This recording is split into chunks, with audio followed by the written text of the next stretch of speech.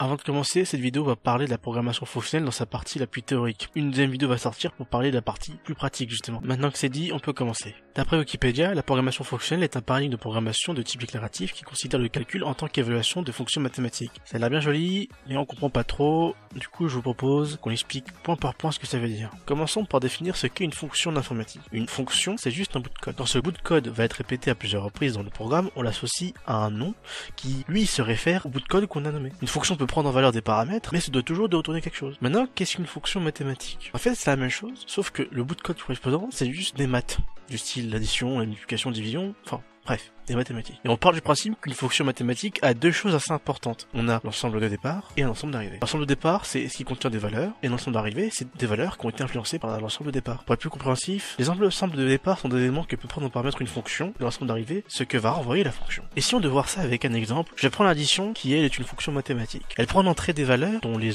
donc les entiers qu'on va additionner, et en sortie un résultat, le résultat de l'addition. Si on veut faire 2 plus 3, qui est égal à 5, 2 et 3 sont dans le premier ensemble, dans l'ensemble de départ, et le 5 est dans le deuxième ensemble, l'ensemble d'arrivée. Donc, l'entrée de la fonction addition est 2 et 3, et ce qu'elle renvoie, c'est 5. Cependant, tous les programmes ne sont pas des fonctions mathématiques. Afficher bonjour dans le terminal n'est pas des maths. Regarder une vidéo sur internet, ce n'est pas des maths. C'est pour ça que dans la définition de la programmation fonctionnelle, il y a le terme considère. L'objectif principal pour chaque fonction, c'est de tenter de garder la même structure que les fonctions mathématiques. Donc, créer une fonction qui a quelque chose en entrée, qui prend des paramètres en entrée, et qui rend quelque chose en sortie. Maintenant que ça, ça a été expliqué, je vais vous parler du paradigme de programmation. Un paradigme, en philosophie, c'est une manière de voir le monde et ses problèmes. Un paradigme en programmation, c'est une manière de visualiser et d'écrire du code afin de résoudre les problèmes. Il existe plein de paradigmes de programmation et chacun trouve leur force dans des problèmes spécifiques. Et pour appliquer ces paradigmes, on crée des langages qui sont spécialisés pour eux. Ça ne veut pas dire que ce langage se restreint à ce paradigme, au contraire. Un langage peut manipuler tous les paradigmes, mais c'est juste qu'en général, un langage spécialisé dans un paradigme aura tendance à faciliter son implémentation ainsi que son optimisation. Mais si on décide de coder dans un autre paradigme, on aura juste plus ou moins de difficultés d'implémenter, il sera aussi moins lisible et donc plus difficile à comprendre. Et le code sera à peu près optimisé et efficace. Pour ce qui est de la programmation fonctionnelle, l'idée centrale est le lambda calcul inventé par Alan Church en 1936, qui est d'ailleurs l'un des fondateurs de la théorie informatique. Il introduit les notions de fonction et de récursivité, le fait qu'une fonction puisse appeler elle-même, c'est la définition même de la récursivité. Ça, ça existait, mais le problème c'est qu'on n'arrivait pas à leur donner un sens syntaxique, c'est-à-dire avoir la capacité de les écrire. Le premier langage fonctionnel à implémenter ces notions est Lisp inventé en 1955 par John McCarthy. Lisp a défini des notions qui seront utilisées par les autres langages fonctionnels. La programmation fonctionnelle rend le code plus facile à lire et ça demande moins de code, mais là encore, l'argument est subjectif. C'est une manière de coder, du moins à l'époque, car c'était principalement de la programmation impérative. Ne t'inquiète pas, je vais vous expliquer ça. Mais pour vous expliquer ça, je vais faire la comparaison entre la programmation déclarative et la programmation impérative. Pour ce qui est de la programmation déclarative, qui est l'opposition exacte de l'impérative, la programmation déclarative donne moins d'importance à l'ordre d'exécution des tâches. Et lors de l'exécution, le résultat obtenu ne sera pas semblable à l'ordre des tâches écrites dans le code. D'ailleurs, la programmation fonctionnelle est l'exemple typique de la programmation déclarative. En C, par exemple, qui est un langage impératif au passage, le programme va exécuter son code ligne par ligne et dans l'ordre, du vers le bas.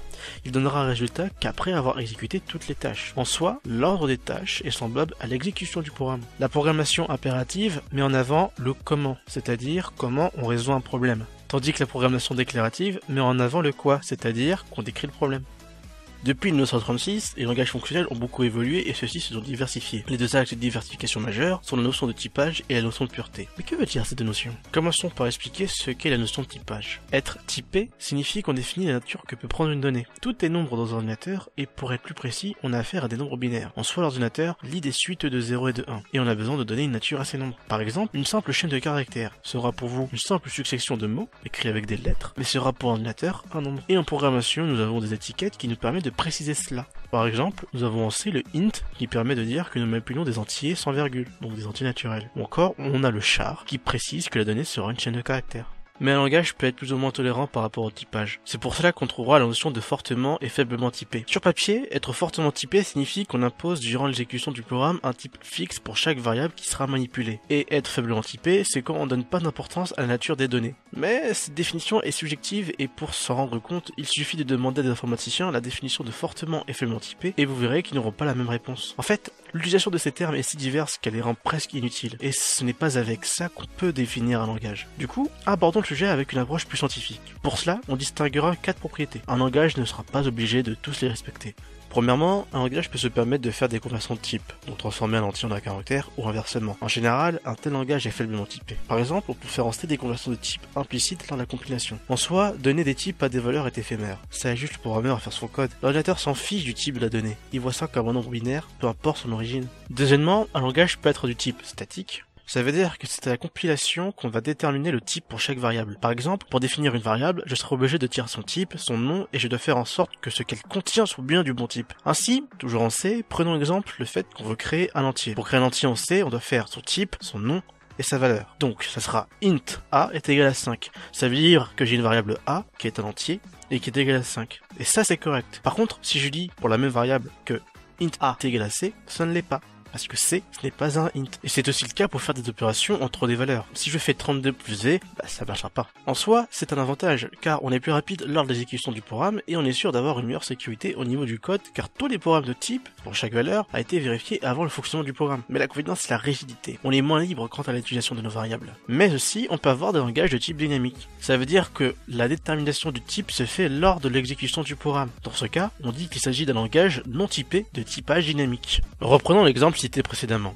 je peux définir des variables sans préciser leur type. Ce dernier sera déterminé une fois mon programme lancé. Ainsi, je peux faire A est égal à 32 et B est égal à V, et le programme l'acceptera sans vérifier sur le moment. Mais c'est lors de l'exécution qu'il peut avoir des problèmes, car c'est là où il va vérifier et le programme peut potentiellement ne pas marcher, voire donner des résultats inattendus. J'ai dit aussi que faire A plus B soit 32 plus V était impossible dans un langage statique. Mais avec le typage dynamique, on peut faire en sorte que B change de valeur pour voir à l'entier, et dans ce cas, A plus B devient correct. C'est avantageux, car on a plus de souplesse sur l'utilisation des valeurs, mais au détriment du fait que si nous avons des problèmes de type, on aura par conséquent des crashs lors d'exécution, ce que le typage statique évite justement. Et on est plus lent sur l'exécution, car le programme fera des tests en permanence pour vérifier le type. Tout comme les paradigmes, le typage dynamique et statique trouvent leur utilité sur ce qu'on veut faire avec le langage. Il n'y a pas donc de supériorité entre les deux, il n'y en a pas un qui est plus avantageux que l'autre. Ça dépend vraiment de ce qu'on veut faire. Troisièmement, une fonction a un type. Comme dit précédemment, une fonction prend un ou plusieurs types en paramètres et en renvoie un autre qui dépend bien entendu de ce qui a été pris en paramètres. De ce fait, pour définir le type d'une fonction, il faut voir ce qu'elle prend en entrée et ce qu'elle donne en sortie. C'est sa signature. D'ailleurs, grâce à cette signature, une fonction peut être enclin à avoir une entrée de n'importe quel type, mais doit envoyer une valeur dont le type dépend de l'entrée. On appelle cela le polymorphisme. C'est la capacité à une fonction à être généraliste. Mais j'en dirai pas plus.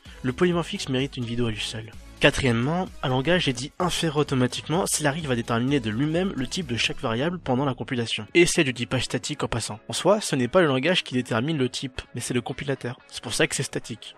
Maintenant que j'ai expliqué ce que c'était la notion de typage, je vais maintenant vous expliquer ce que c'est que la notion de pureté. Être pur signifie que le programme ne va pas interagir avec son environnement on distingue deux types d'interactions. On a premièrement la notion de fermeture de fonction. Imaginez une fonction comme étant une boîte noire. Imaginez cette boîte noire contenue dans une autre plus grande. Il s'agit du programme tout entier. La fonction n'est qu'une petite partie de ce programme, mais elle reste indépendante de ce dernier et est considérée comme un autre programme. Le programme possède des variables, la fonction aussi. La fonction possède des variables de même nom que ceux du programme. Et pourtant, ces deux mêmes variables ne sont pas les mêmes. En effet, la fonction a créé son propre environnement totalement dépourvu de lien avec le programme. Ça veut dire que la fonction peut faire ce qu'elle veut et n'influencera à aucun moment le programme. voyez cela comme étant une mise sous quarantaine. La fonction est isolée, elle fait ce qu'elle veut et n'influencera à aucun moment le programme. Cependant, elle se doit de retourner une valeur, qui est d'ailleurs l'objectif principal pour toute fonction, et cette valeur pourra être utilisée par le programme. C'est ça la fermeture de fonction. Concrètement, lors de son exécution, une fonction crée son propre environnement avec des variables qui vont être créées.